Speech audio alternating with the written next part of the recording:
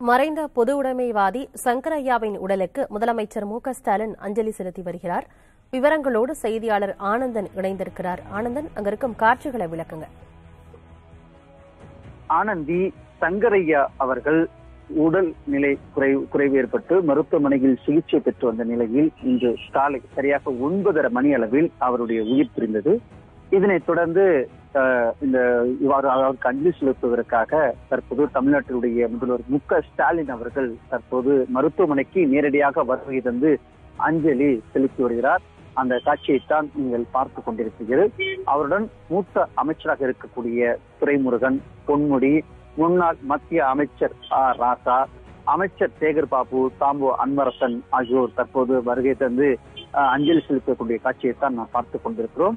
சங்கரையா அவர்கள் மூன்று முறை சட்டமன்ற உறுப்பினராகவும் தொடர்ந்து சுதந்திர போராட்ட வீரராகவும் பல்வேறு தமிழகத்தில் நடந்த முக்கிய போராட்டங்களில் பங்கேற்று அது மட்டுமல்லாமல் மார்க்சிஸ்ட் தமிழ் கட்சியுடைய மாநில செயலாளராகவும் பொது உடைமை கட்சியுடைய மூத்த முன்னோடியாக அதாவது தொடக்க காலத்திலே இருந்து கட்சியினுடைய பங்களிப்பை ஆற்றி நாட்டு மக்களுக்கும் மிகப்பெரிய அளப்பரியாக பங்கை ஆற்றியவர் அவர்.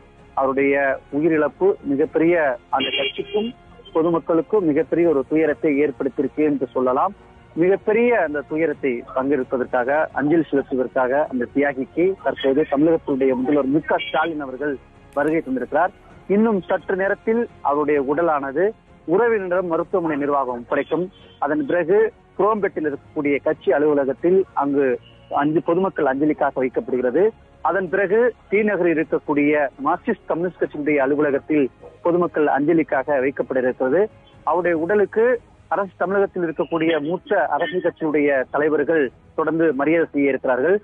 அது மட்டுமல்லாமல் தமிழக அரசு தமிழக அரசு சார்பாக அவருக்கு அரசுடன் அரசு மரியாதை செலுத்துவதற்காகவும் பரிசீலனை செய்யப்பட்டு வருவதாக நமக்கு தகவல் கிடைத்திருக்கிறது.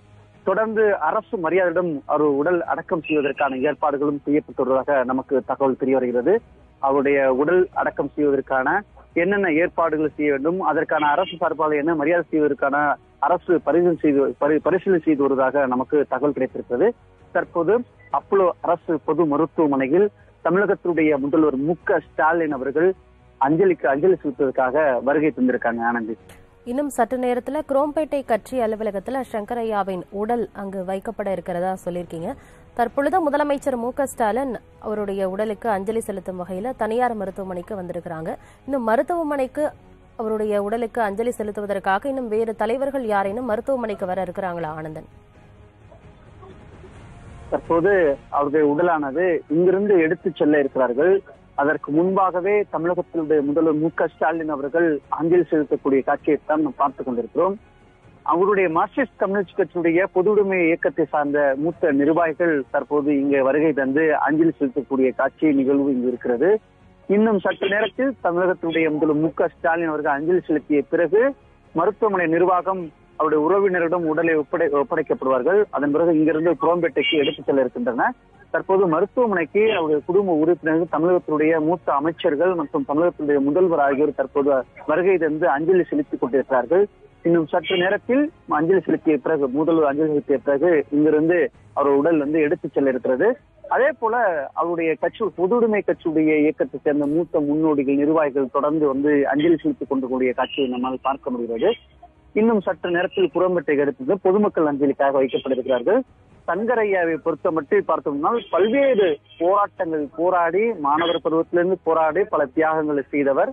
அவருடைய ஈர்ப்பை ஏற்பட்டு தமிழகத்தில் பல்வேறு பகுதியிலிருந்து அஞ்சலி செலுத்த இருக்கிறார்கள். எனவே இந்த சற்று நேரத்தில் எடுத்து செல்ல இருக்கிறாங்க ஆனந்த் தகவல்களுக்கு நன்றி ஆனந்தன்.